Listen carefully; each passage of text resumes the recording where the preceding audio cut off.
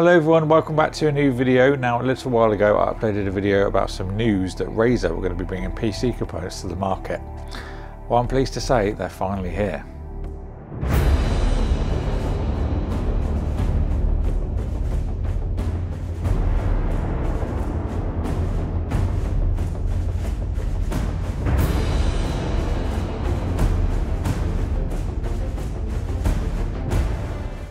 So something a little bit different for the intro. I thought I'd do something a bit special as these are kind of highly anticipated products. But we have some of the Razer PC components on hand. So we have the Hanbo, which is that AIO all-in-one liquid cooler. This comes in a 240mm and a 360. 240 here for us to look at today. Then we've also got some of the Kunai fans. So they do them in single packs either 120 mil or 140 mil and you can also get three packs as well. So in this video we're going to do an unboxing and an overview of these products but i'm also going to do an installation guide of the Hanbo Chroma for any of you guys that might want to add this into your existing system.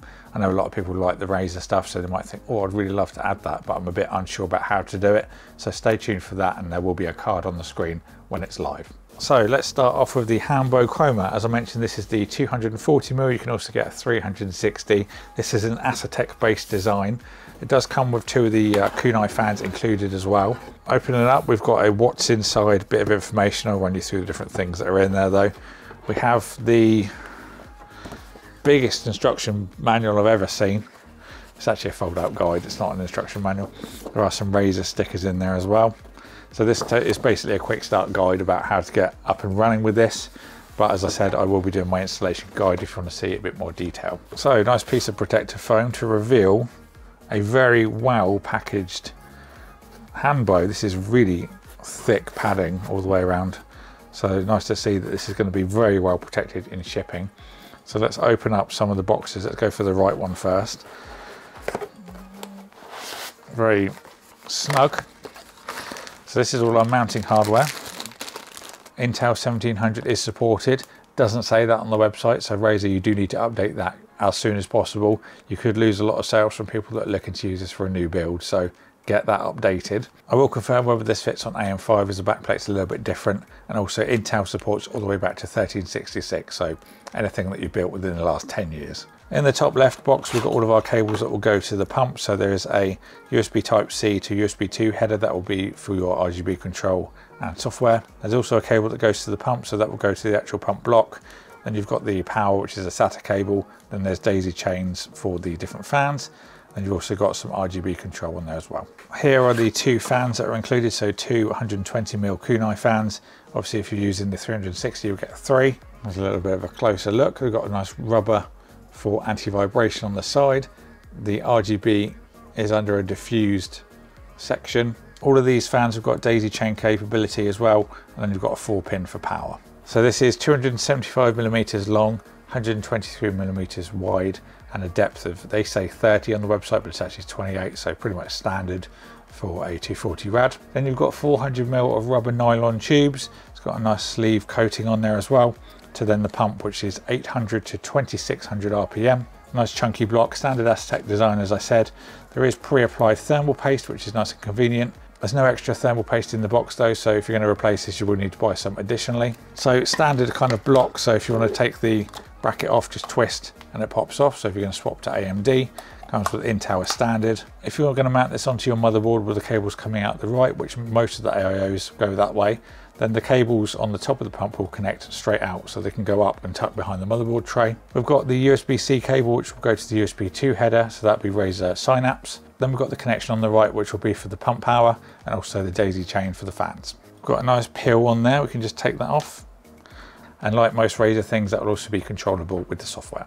Other little things around the pump is plastic and then obviously we've got a copper block for the heat transfer and you can also take the top off as well and rotate it so whichever way you put this in your system the logo can always be upright. So the additional fans we've got the 140mm and the 120s. So here's a 120 and then a 140. So the Kunai are hydraulic bearing fans. They've got a lifespan of 60,000 hours as well. Just a you know random fact for you. Little thing to unwrap to get your fan out. Bit excessive on the materials though. For the 120mm there's 18 addressable LEDs whereas the 140mm there's 22. You can daisy chain these fans up to 8 on a single run so that can help with cable management. As you can see we've also got a 5 volt addressable header. There's also another one so you can connect the second fan. If that's not enough, you can also use their Chroma addressable RGB controller. Now as a quick side note, that will only take six, but it also uses a USB 2 header rather than a 5 volt addressable. So if you've only got one on your motherboard, that's another way to get around it. Each fan, regardless of size, comes with four installation screws or four rubber grommets, so you can use what you prefer. Speed-wise, the 120mm will do up to 2200 RPM and the 140 up to 1600. One thing I quickly want to mention is there is a sleeving for the 4-pin PWM, but then the RGB is just a plain coated cable. Would be nice if they were all sleeved, just a little bit of an aesthetic thing, but hopefully you'll be able to uh, manage them in the PC without too many showing anyway. So before we put this into a system, let's talk about the pricing and it can be rather extreme depending on where you're going to shop. So for example, if you go to the Razer store and you want to buy the 240 Hanbo, it's going to cost you £299. 360 will cost you 349 but if you go to Amazon, you can get the 240 for 169, nice. And then the 360 is 233 pounds, so drastically different if you actually shop around a little bit in comparison to the Razer store. The fans, these are coming in at 44.99 for a single 120 millimeter. So that's this one here. A triple pack will cost you 119.99 and then the 140 mils are 49.99 and then 129.99. You can find them a little bit cheaper by about five pounds or so per single fan. If you want to buy a pack of three, you'll save about 10 pounds for the 120s and 20 pounds for the 140s. So something to bear in mind, not the cheapest stuff, but definitely look around if you're considering it. But I don't know about you guys, I want to see this all lit up. So let's get it into a system. So now we're into Windows and Synapse, we can have a look at the options that we've got for the Hanbo. As a quick FYI, I did have to update my software, so I went to the little settings option, then about, and then check for updates.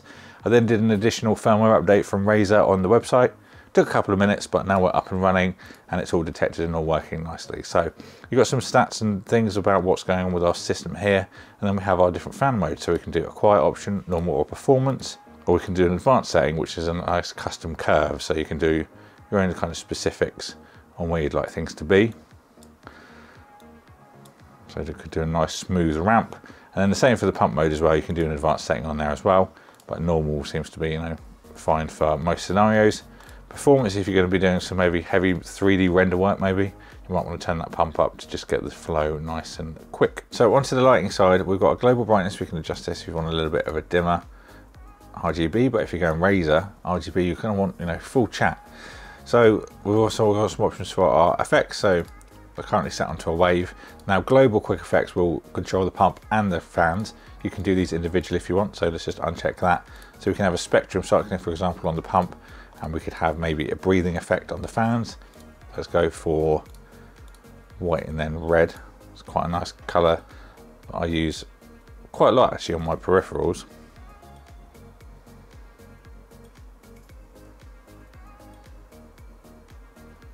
There we go.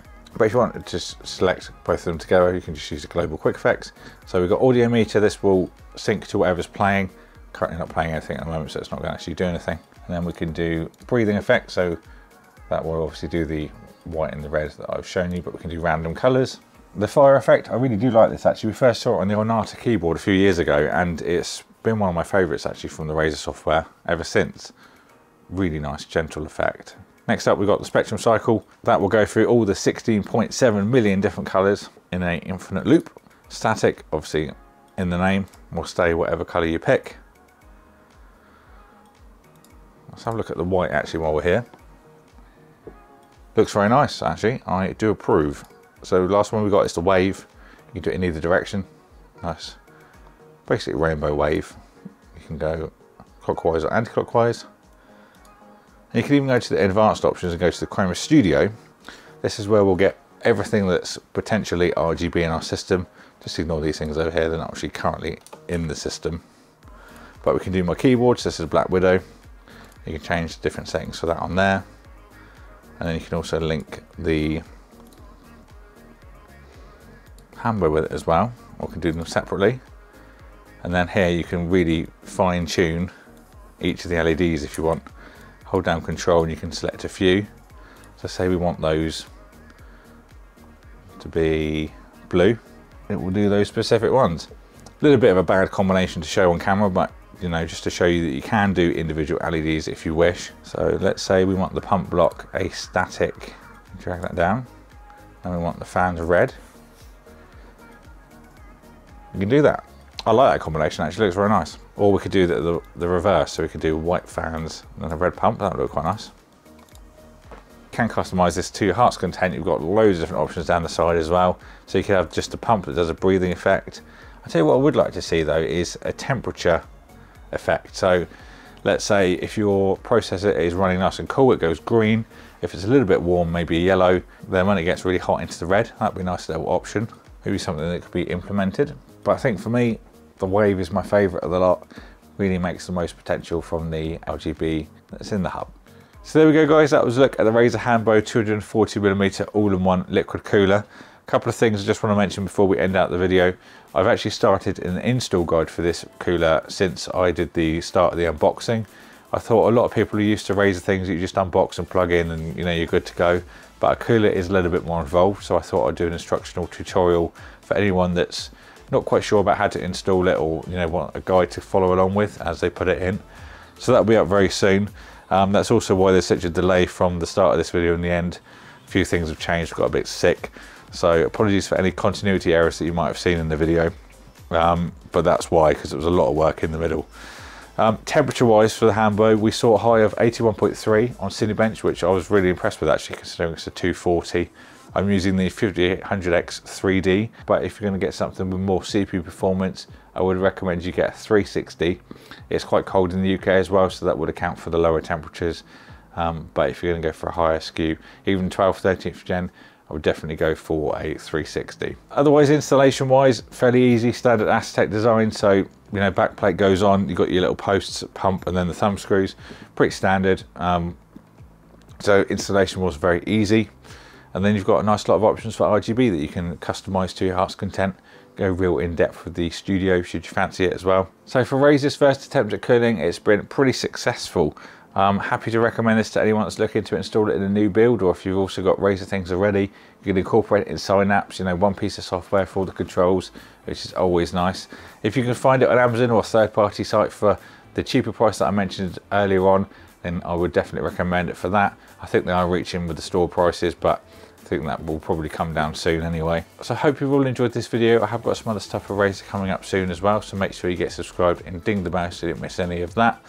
I'll add all the product links to things you've seen in the description box below as well if you want to pick any up. Thank you all for watching. Thank you to Razer for sending this out for me to look at, and I'll see you all in the next one.